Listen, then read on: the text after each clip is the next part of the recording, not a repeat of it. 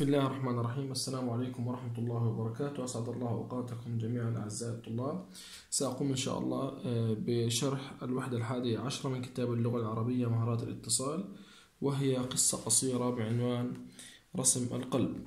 الآن فيما يتعلق بكاتب آه، القصة أو القاص هنا هو جمال ناجي جمال ناجي روائي وقاص أردني وهو عضو اتحاد الكتاب العرب ورئيس سابق لرابطة الكتاب الأردنيين نال عدة جوائز محلية وعربية. كان آخرها جائزة الدولة التقديرية للآداب في سنة أو عام 2015 وجائزة الملك آه، عبد الله الثاني للإبداع الأدبي عام 2016 وله مجموعة من الأعمال الأدبية ترجم عدد منها إلى لغات أجنبية. ومن رواياته الطريق إلى بالحارث هنا احفظ رواياته ومخلفات الزوابع الأخيرة وعندما تشيخ الذئاب. أما بالنسبة لمجموعاته القصصية هو رجل خالي الذهن ورجل بلا تفاصيل وما جرى يوم الخميس. وهذه المجموعة هي التي أخذت منها هذه القصة. لو سئلت ما المجموعة القصصية التي أخذت منها هذه القصة هي ما جرى يوم الخميس. هذا فيما يتعلق بالقاص. هنا جو النص. هنا يصور القاص في قصة رسم القلب العلاقة التي نشأت بينه وبين نبتة تشبه رسم القلب. أهداها إليه صديقه لشفائه من المرض. وهنا يبرز في هذه القصة عنصر الصراع. فلو سئلت ما هو العنصر البارز في هذه القصة هو عنصر الصراع بين القاص والنبتة بين كاتب القصة والنبتة. في حبكة قدمها القاص بضمير المتكلم. ولو سئلت علل قدم القاص الحبكة بضمير المتكلم لتكشف مسؤولية الإنسان في تحقيق السعادة لنفسه ولمن حوله. لتكشف مسؤولية الإنسان في تحقيق السعادة لنفسه ولمن حوله. تلك السعادة التي تتمثل في أن يترك الإنسان الآخرين يمارسون حريتهم وأن يقبل الآخرين ويتكيف معهم ولا يتسرع في اتخاذ قراراته. وهنا الهدف من هذه القصة هو أن يترك الإنسان لو سئلت ما هو الهدف من هذه القصة والسعادة التي تتمثل في أن يترك الإنسان الآخرين يمارسون حريتهم أن يتقبل الآخرين أن يتكيف مع الآخرين ولا يتسرع في اتخاذه قراراته في اتخاذ قراراته. أما الآن قبل أن أبدأ بشرح فقرات هذه القصة سأتكلم عن عناصر هذه القصة.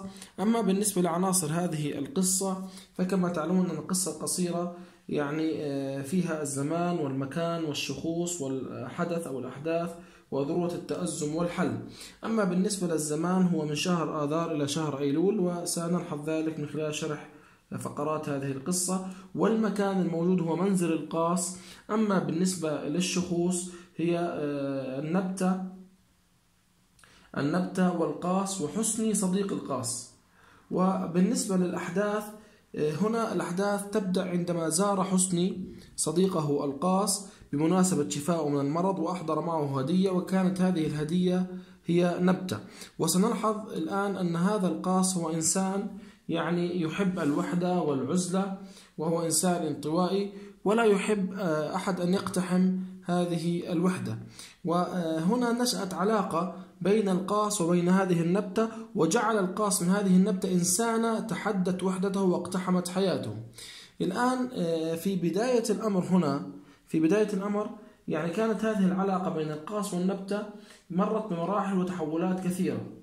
فبدأت العلاقة أولا متوازنة بين القاص والنبتة فكانت هذه العلاقة يعني كأنها يعني تمثل علاقة القاص بأي شيء من موجودات هذه الغرفة هذه العلاقة الأولية أو النظرة الأولية فقد رأى فيها مجرد واحدة من موجودات هذه الغرفة مثل الكرسي أو الطاولة أو المدفأة وبعد ذلك تحولت هذه العلاقة إلى علاقة عدم اتزان فهذه العلاقة أصبحت علاقة عدائية لماذا؟ لأن هذه النبتة ستفرض على القاص تغييرا في السلوك اليومي لماذا؟ لأنها تحتاج إلى ري وتحتاج إلى تسميد وتحتاج إلى تنظيف والأمر الذي أثار غيظ القاص أيضا أنه قرأ في إحدى الصحف أن هذه النباتات التي تعيش داخل البيوت تحتاج إلى من يبتسم لها وأن وهذا القاص يعني هو إنسان لا يحب الابتسام لا يحب فهو إنسان يعني كما عبر عن نفسه عندما قال فأنا لا أكاد أرخي شفتي أمام أكثر الأمور طرافة.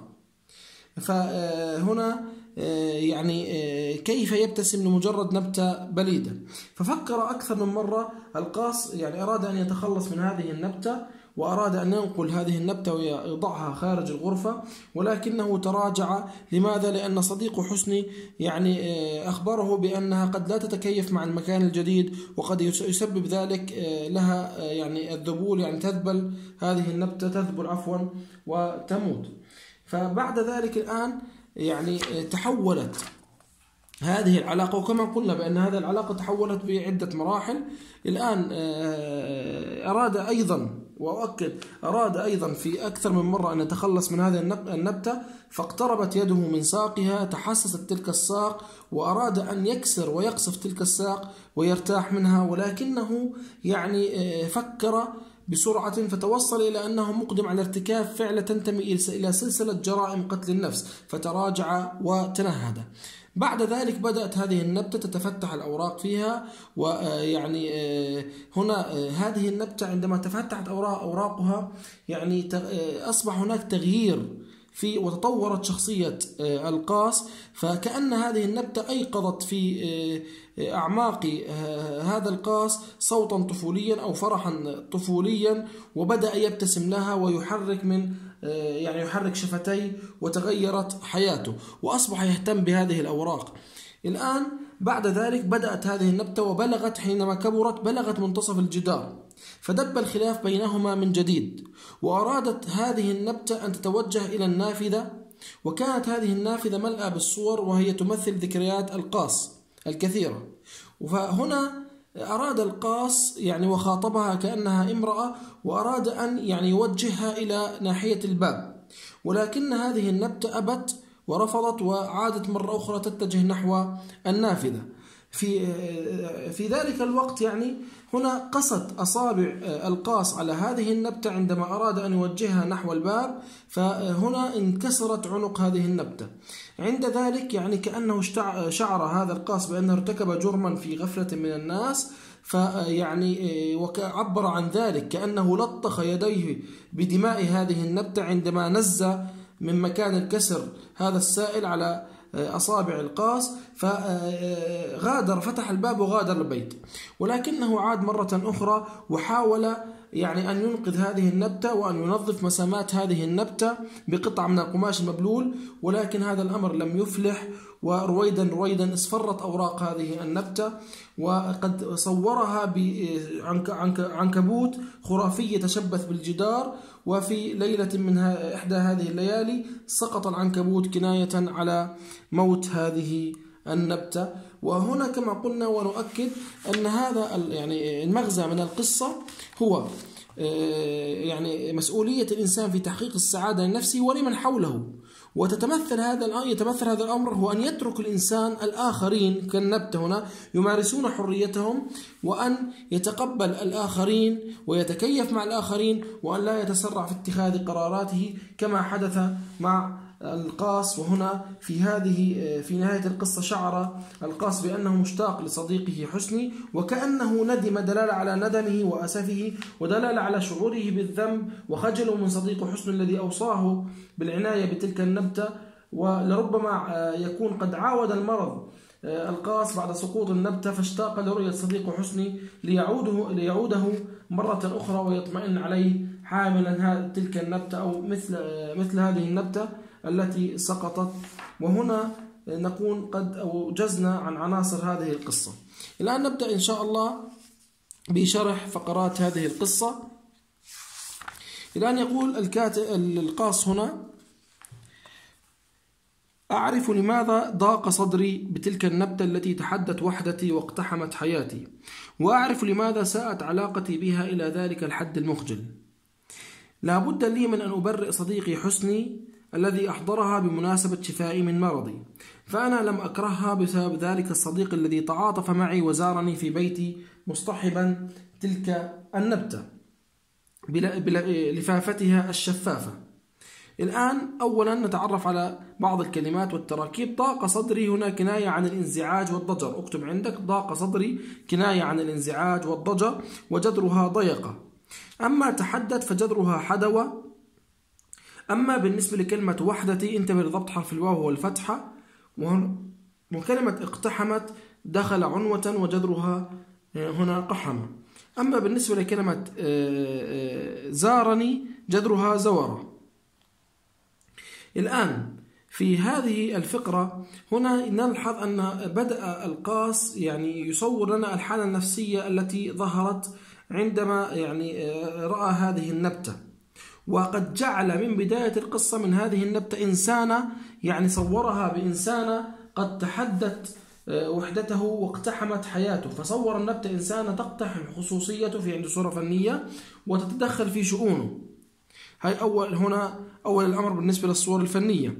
وكما نلحظ لو سئلت الآن ما هي الحالة النفسية للقاس هنا هو يعني هنا الكاتب عفوا يشعر بضيق الصدر. طب لماذا؟ ما الذي أشعره بضيق الصدر؟ لأن هذه النبتة تحدت وحدته. اكتب عندك هنا الأسئلة واقتحمت حياته. الآن هنا في هذه الفقرة يظهر لنا وهنا من أسئلة الكتاب يظهر, يظهر لنا بأن هناك ثمة رباط ود متين يربط بين القاس وصديقه حسني. لو سئلت دلل على ذلك من النص تقول عندما تعاطف حسني مع القاس في وقت مرضه وزاره وأحضر له هدية وهي نبتة تشبه رسم القلب ملفوفة بالورق والشبر لصديقه. الآن هذا فيما يتعلق في الفقرة الأولى. الآن هذا كل شيء يتعلق في الفقرة الأولى لكن تبع لضبط حرف الواو في كلمة وحدتي. وهنا تبع أيضا لضبط حرف آه، هنا اللام لي لفافتها كسرة. الآن نبدأ هنا آه، في الفقرة أو الفقرة عفوا الثانية. طبعا كما آه، سنلحظ أن الشخصيات هنا في هذه القصة تقسم إلى شخصيات نامية وشخصيات ثابتة. أما الشخصيات النامية هي القاس والنبتة لأن شخصيات شخصية القاس والنبتة قد تطورت في مراحل هذه القصة. أما الشخصية الثابتة في هذه القصة فهي شخصية حسني صديق القاس. الآن نأتي إلى الفقرة الثانية يقول صحيح أنه هو الذي اختار لها ذلك المكان أسفل جدار الغرفة ووضعها فيه بعد أن نزع عنها لفافة الورق والشبر. وصحيح أنه شرح لي بحرصه المعهود. وبما يشبه الإملاء مهام رعايتها التي أتعبتني فيما بعد. إلا أنه لم يكن سببا في العداء الذي نما بيني وبين تلك النبتة. بأوراقها التي تشبه رسم القلب. ونبدأ هنا من آخر هذه الفقرة. لو سألك من أين آه، استوحى القاس عنوان هذه القصة تقول استوحى عنوان هذه القصة من شكل النبتة التي تشبه رسم القلب. أما الآن نأتي لبعض الجذور. نبدأ بالجذور أولا. آه، كلمة اخت أو المعاني الكلمات اختار جذرها خير والإملاء والإجبار هو جذرها ملوى. أما العداء فهو جذرها هنا عدوى. هذا فيما يتعلق في الجذور. الآن نبدأ هنا في هذه الفقرة. لو سئلت سؤال هناك مظاهر تدل على اهتمام صديق القاس بالنبتة يعني هناك مظاهر تدل على أن حسني مهتم بهذه النبتة. استخرج هذه المظاهر من الفقرة. فهنا نقول أنه اختار لها ذلك المكان أسفل جدار الغرفة أولا ووضعها فيه بعد أن نزع عنها لفافة الورق والشبر خوفا من أن تختنق وشرح آه، لي بحرصه المعهود وبما يشبه الإملاء مهام رعايتها التي أتعبتني فيما بعد. إلا أنه طبعا لم يكن سببا في العداء الذي نما بيني وبين تلك النبتة. وهنا في صورة فنية. لم يكن سببا في العداء الذي نما بين آه، بيني وبين تلك النبتة. صور العداء كأنها نبتة تنمو. وهنا تكلمنا أيضا عن أن القاص استوحى عنوان القصة من شكل النبتة التي تشبه رسم القلب. الآن الفقرة الثالثة ماذا يقول؟ في البداية لم أشعر بضرورة وجود علاقة حب أو بغض بيني وبينها. وقد رأيت فيها مجرد واحدة من موجودات الغرفة مثل الكرسي والطاولة والمدفأ والخزانة. فما هي النظرة الأولية للقاس آه، بالنسبة لهذه النبتة هو رأى فيها لو سئلت عن هذا السؤال هو رأى فيها مجرد واحدة من موجودات هذه الغرفة. هذه بداية العلاقة بينه وبين هذه النبتة لم يرى فيها إلا أنها واحدة من موجودات الغرفة كالكرسي كالطاولة كالمدفأة كالخزانة أو حتى كإطارات الصور على الجدار. هذا فيما يتعلق في النظرة الأولية. بعدين ماذا يقول؟ غير أنني بعد أيام تنبهت إلى ما يثيره صمتها من السأم. والسأم معناها الملل والضجر وجدرها سائمة. الآن في نفسي ما الذي يجذبني إلى مجرد نبتة مسمرة مثل التماثيل النحاسية أو البلاستيكية تحملق أي تنظر بشدة في سقف الغرفة القاتم أو في الجدران المصفرة؟ والجدران المصفرة والمتقشرة دلالة على سوء الأوضاع المادية عند القاص أو ربما في تقاطيع ومعنى كلمة تقاطيع هنا ملامح وجهي ولا سيما في تلك الأخاديد والأخاديد هي الحفر. وتلك الأخاديد المتقاطعة في جبهته دلالة على تقدم السن. وهنا نلحظ أن في هناك حالة نفسية عند الكاتب بأنه كان مندهشا ومستغربا.